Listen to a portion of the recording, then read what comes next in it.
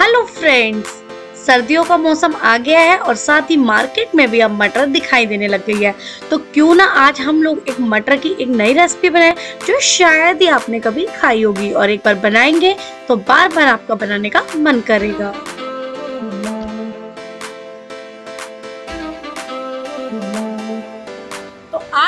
लोगों के लिए एक डिफरेंट रेसिपी लेकर आई हूँ। अगर आपको मेरे वीडियोस अच्छे लगते हैं तो प्लीज़ मेरे चैनल को लाइक शेयर एंड सब्सक्राइब करिए।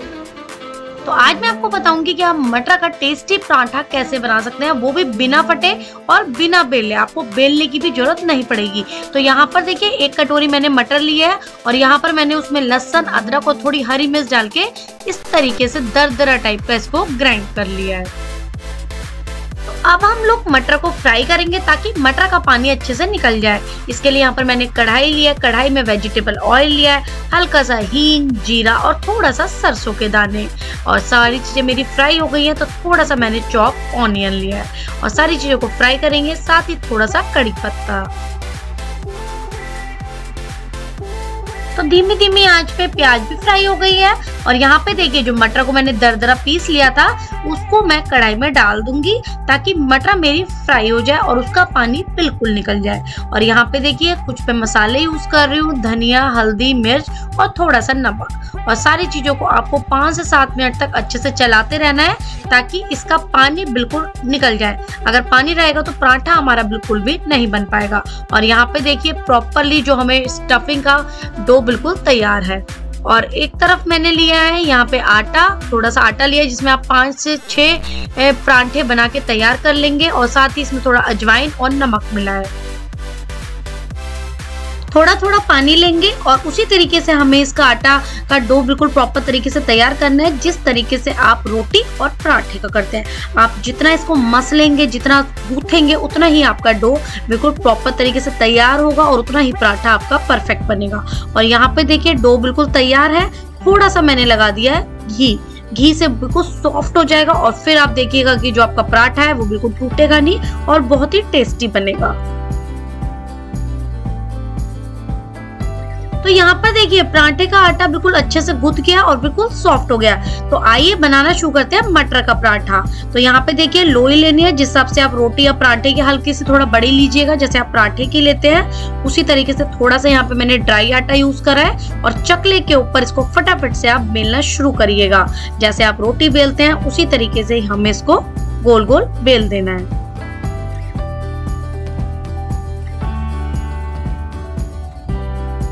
जो आपने परांठे की जो लोई तैयार करी है, उसके ऊपर हम घी लगा देंगे। देखिए नॉर्मल परांठे के ऊपर भी हम घी लगाते हैं तो इस परांठे के ऊपर भी हम उसी तरीके से घी लगाएँगे। और यहाँ पे देखिए, थोड़े से मैं यहाँ पे यूज़ कर रही हूँ धनिया की पत्तियाँ। धनिया की पत्ती से फ्लेवर भी अच्छा आएगा और देखने में भी अच्छा लगेगा। साथ ही जो मेरा मटर का जो मिक्सचर मैंने तैयार करा था, जिसको भून लिया था, वो भी मैं इसके ऊपर रख दूँगी। और आपको इसको ट्राइंगल शेप टाइप में ही अच्छे से फैलाना है। तभी आपका जो पराठा है, वो बिल्कुल ट्राइंगल शेप में ही बनेगा। और आज मैं आपको दिखाऊँगी कि बिना फटे, बिल्कुल परफेक्ट पराठा आप कैसे बना सकते हैं। अब देखिए, मटर को तो मैंने प्रॉपर तरीके से ट्रायंगल शेप में अच्छे से बिल्कुल बिछा दिया है लोही के ऊपर। और आपको ये टर्न का आप पूरा अच्छे से मेथड देखिएगा कि मैं इसको कैसे टर्न करूँगी, तभी आप परफेक्ट पराठा बना पाएँगे। और यहाँ पे देखिए लोई को हमें दोनों तरफ़ से टर्न करना है। पहले हम इधर की तरफ़ से करेंगे, फिर हम उस साइड से करेंगे। अब दोनों तरफ़ से टर्न करने के बाद आप इसके ऊपर थोड़ा सा घी लगाइएगा। क्योंकि देखिए, पराठे में तो घी का ही टेस्ट होता है। जितना आप घी लगाएँगे, उतना ही पराठा आपका टेस्टी बनेगा। और यहाँ पे मैंने ऊपर की तरफ़ से टर्न करके नीचे से हल्का उसको ट्राइंगल शेप में दे दिया है। और हैंड की हेल्प से थोड़ा थोड़ा सा इसको फैला दीजिएगा प्रेस करिएगा, ताकि ये बिल्कुल परफेक्ट शेप ले ले। और यहाँ पे देखिए, बिना बेले, बिना कुछ करे मेरा परफेक्ट पराठा बनके तैयार है। बस इसको अब सेकना रह गया लोई बिल्कुल प्रॉपर तरीके से मेरी बनके पराठा शेप बिल्कुल तैयार हो चुका है। तो यहाँ पर मैंने इसको तवे पे डाल दिया है। एक तरफ़ से सिक गया है, दूसरी तरफ़ से सिकना बाकी रह गया है। और दोनों तरफ़ मैं इसके ऊपर लगा दूँगी घी। देसी घी से ही आप परांठे को बनाइएगा तो आपका परांठा का जो टेस्ट है, वो और भी बढ़ जाएगा। क्योंकि देसी घी का परांठे का टेस्ट अलग ही होता है। तो दोनों तरफ़ से मैं इसको अच्छे से सेकूँगी। और आप देख भी सकते हैं यहाँ पर कि मेरा पराठा कहीं से भी फटा नहीं है।